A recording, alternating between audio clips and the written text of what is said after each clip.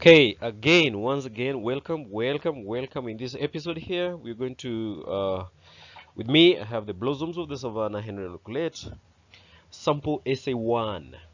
Essays, for those students who are preparing for essay writing, paper three. Uh, this is an, um, an exam style question and of course a response to an essay question from the same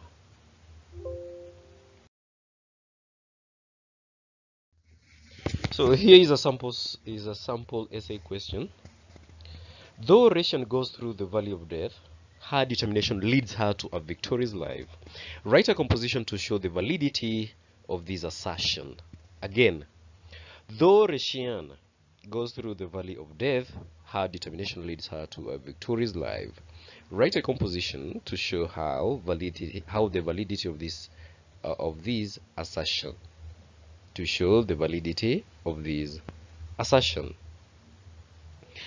Resian, in the blossoms of the savannah, seems to experience several challenging situations in her life. In the scenarios, she sees resolute in her actions as shown in the following ways. In the following ways, Oloisudori declares his intention of marrying her at an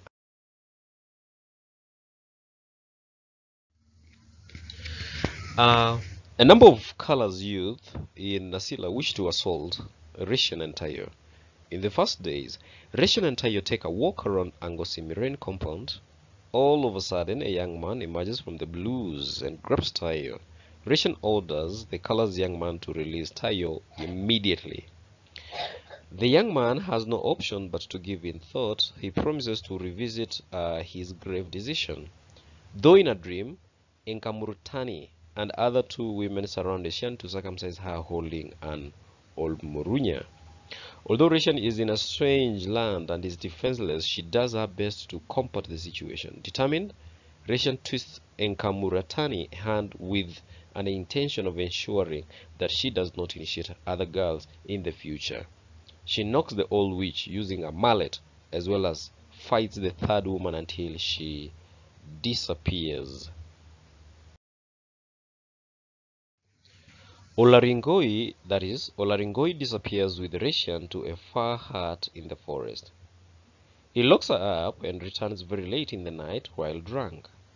Once he returns, he is in his mission of raping her.